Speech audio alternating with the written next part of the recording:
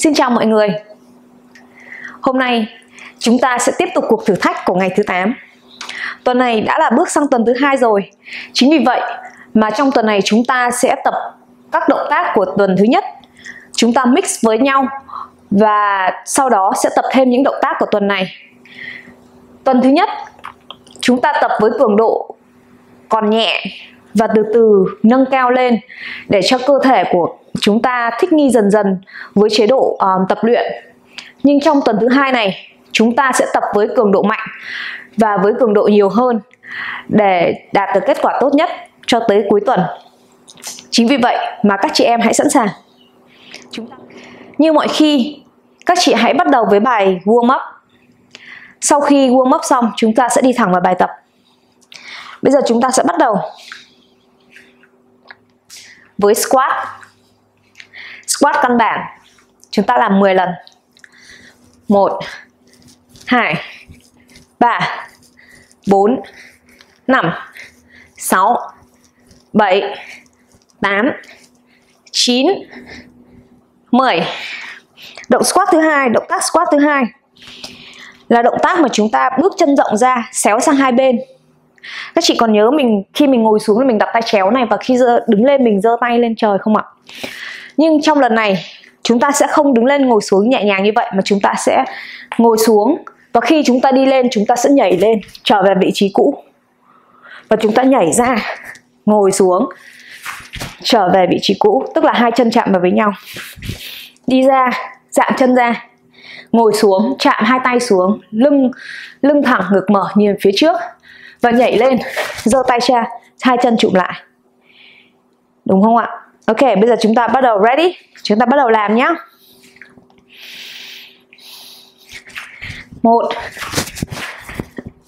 hai, ba, bốn, năm, sáu, bảy, tám, chín, mười.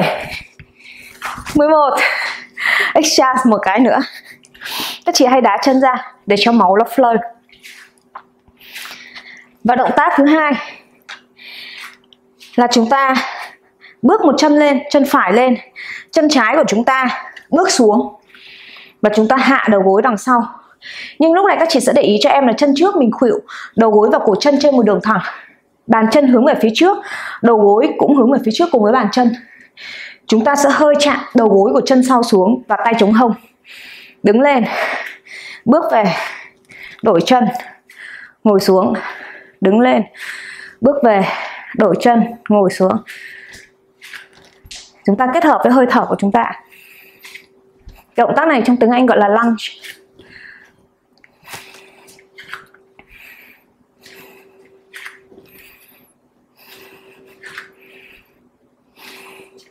Và động tác lunge này giúp đùi của chúng ta săn chắc lại, đồng thời tất cả các muscle ở đằng sau đùi của chúng ta sẽ săn chắc lại. Đánh tan hiện tượng vỏ cam sần đó. Sần vỏ cam ạ. Mà mọi người thường hay gọi khi mỡ nó động lại ở đằng sau đùi của mình.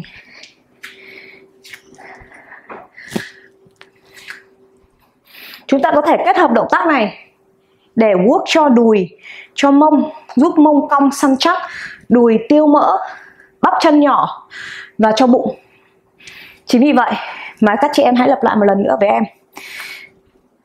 Bước chân đằng sau. Gỡ đầu gối xuống.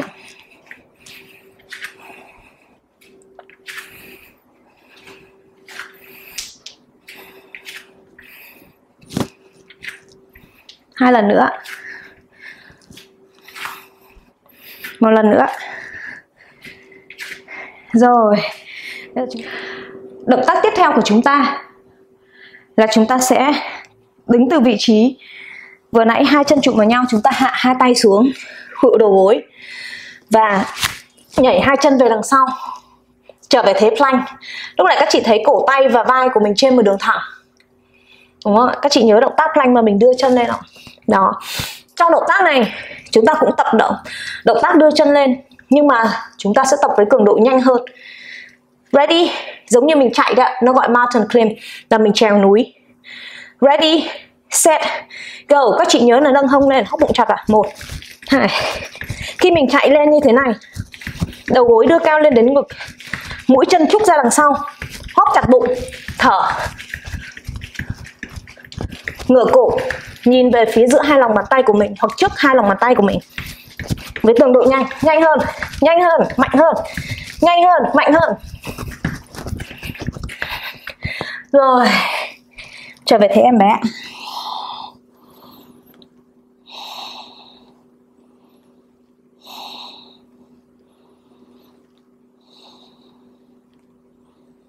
và thở. Hãy chú ý hơi thở của mình. Chú ý tới nhịp tim của mình đập luôn luôn trở về với chính cơ thể của mình.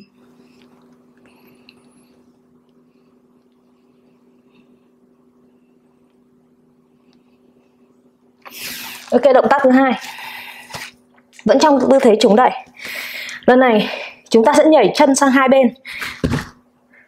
Đó. Hai ba bốn năm. Các chị ngẩng đầu lên nhá. Đừng có cúi đầu xuống à, cầm xuống dưới ngực. Hóp cho bụng mà nhảy. Nhanh lên.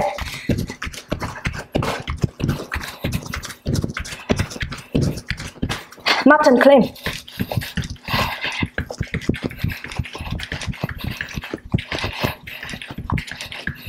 nhảy cố lên, cố gắng lên. Rồi, hạ đầu gối xuống. Và trở về thế em bé. Đặt chán lên trên sàn nhà. Ngồi xuống hai gót chân của mình.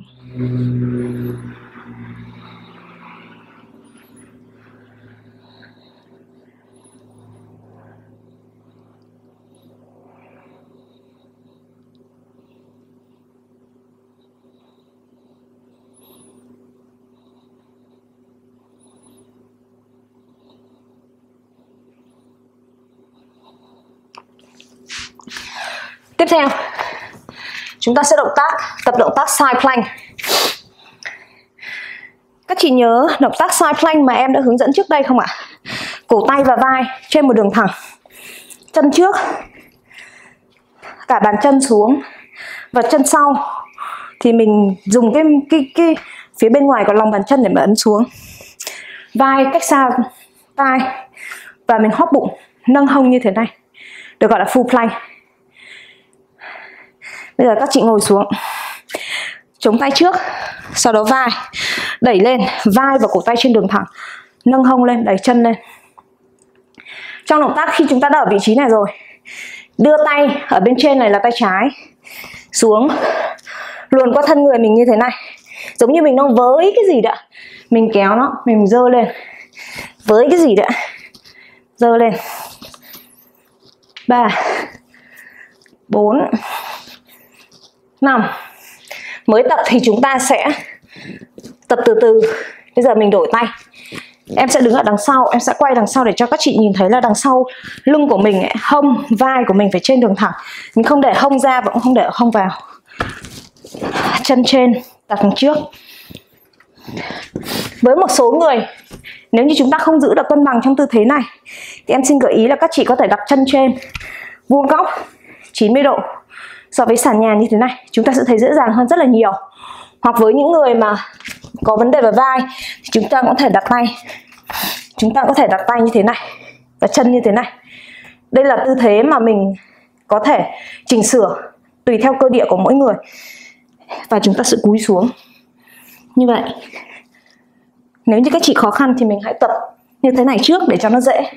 Trước khi mình sang cái động tác advance kia bây giờ đổi tay. Mình sẽ chống tay này xuống sàn nhà. Vai always phải nhớ là vai và khỉu tay trên một đường thẳng. Cho chân ở bên trên 90 độ. Chân ở đằng sau, mình bám. Cái cái mép bàn chân xuống sàn nhà. Nâng hông lên. Nhìn đằng sau sẽ thấy là gáy của em, mông của em và chân của em trên một đường thẳng. Mình không bị tròi mông ra, cũng không bị đùn mông vào. Ready? Với này với đằng sau, giống như là mình đang với cái gì đó mạnh ra. Ném nó lên trần nhà hít sâu vào. Hít sâu vào. Nhớ là cân nặng của mình sẽ dồn lên cả cái cánh tay đằng trước, chứ không chỉ đầu gối, khuỷu tay. Nếu không thì khuỷu tay của chúng ta sẽ rất là đau. Và chúng ta đám chặt cái chân ở đằng trước là cái chân mà mình chống đấy ạ rồi. Nằm lại thấy em bé vào nghỉ.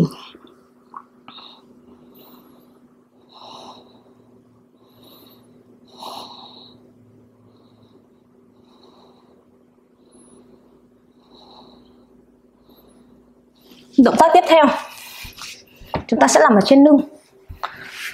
Và làm trên sàn nhà.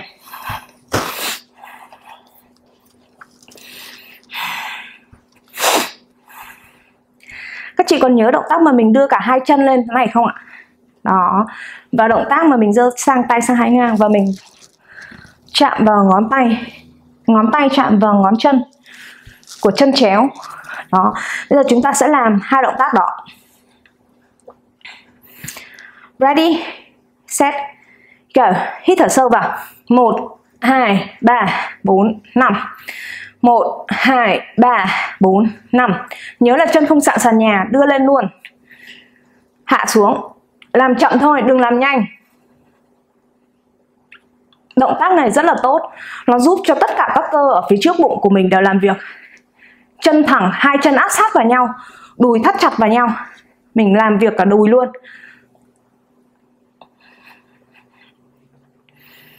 Hít sâu vào và thở ra nhẹ nhàng khi mà đặt chân xuống. Lần nữa, cố lên.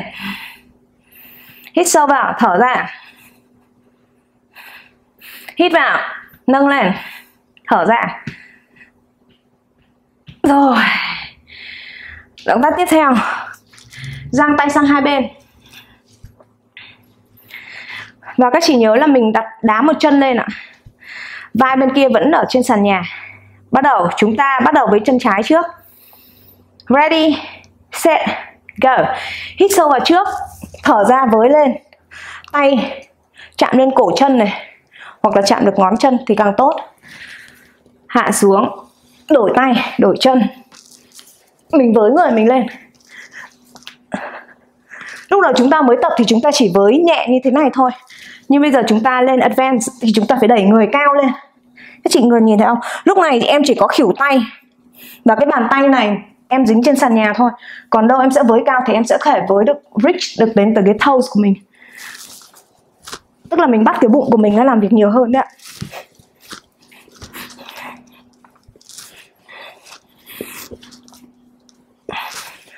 Cố lên. Một, hai, ba, bốn, năm. 6 7 8 9 10 Stress hết người ra, Giống như morning stress đấy Stress hết chân, Tay. Stress hết người ra Và nằm thở. Thư giãn, Sau đó thả lỏng tay chân. Nằm thở một chút xíu. Trước khi chúng ta sang vòng thứ hai. Các chị có 20 giây.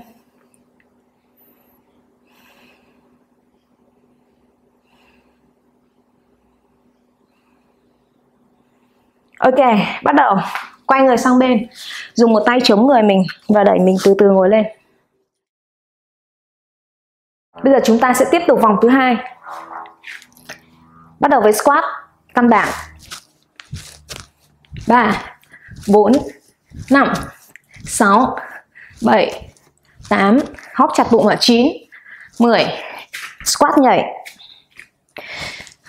1 2 3 4 5 6 7 8 9 10 Sau đó, nằm trên sàn nhà.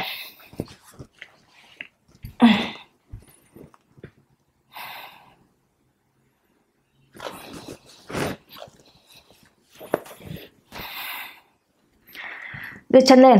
1 2 3 4 5 1 2 3 4 5 1 2 3 4 5 các chị nhớ là hai chân khép sát vào nhau và mình không có hạ chân xuống sàn nhà. Thật chậm thôi ạ.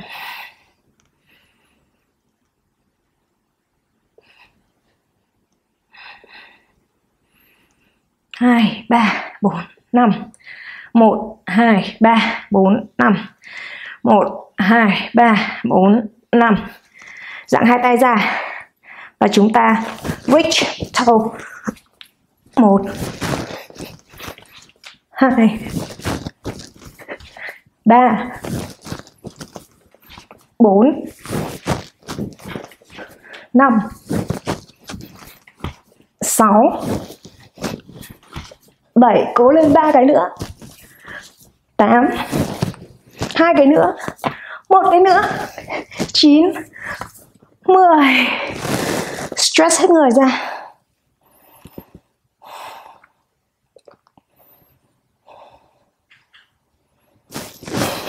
Ngồi lên. Mountain climb chống đẩy. Ready, set, go. Một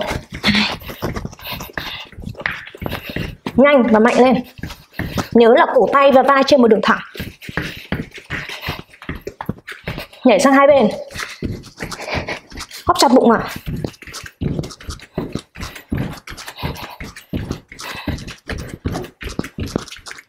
các chị nhớ thở đi, thở bằng mũi. Mountain climb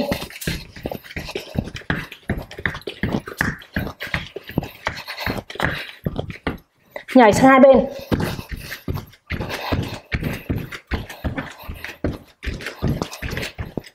Rồi, hạ đầu gối xuống. Chúng ta có thể cho một tay sang bên này, xéo sang bên này. Mình nằm xuống. Để mình stress hết cái vai.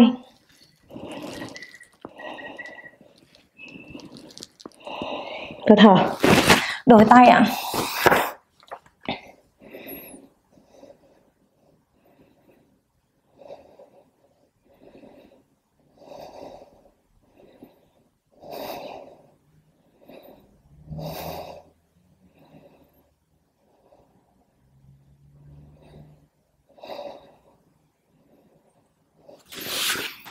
Em xuống thế em bé.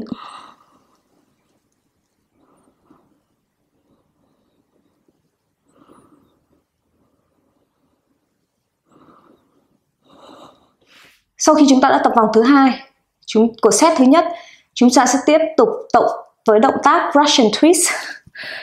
Các chị nhớ không? Mình có thể lấy một cái vật gì nặng đó để tăng cường độ. Lần này em sẽ cầm quả tạ. Kettlebell này, cái này 4 cân ok cầm đằng trước trước ngực của mình. Tay nâng lên, hơi người, hơi ngửa về sau và bắt đầu twist. Một, hai. Nhớ là thẳng lưng, nếu không sẽ rất là đau lưng đấy ba.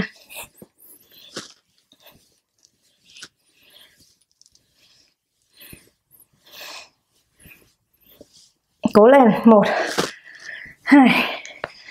Ba. Bốn. Năm. Sáu. Bảy tám, chín. Last one đặt nó xuống. Và mình stress.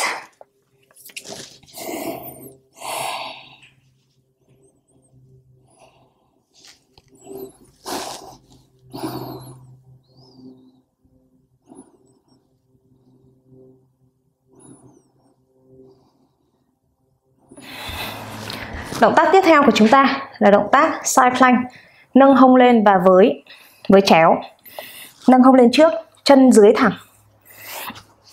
Một, hai, ba, bốn, năm, sáu, bảy, tám, chín, mười.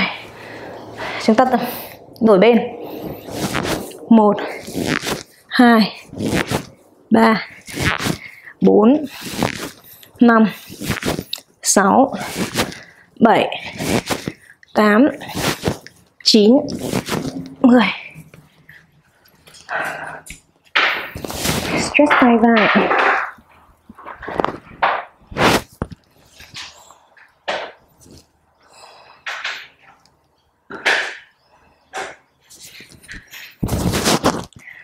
Vậy là hôm nay chúng ta đã kết thúc bài tập của ngày thứ 8. Xin hẹn gặp lại các chị trong ngày mai.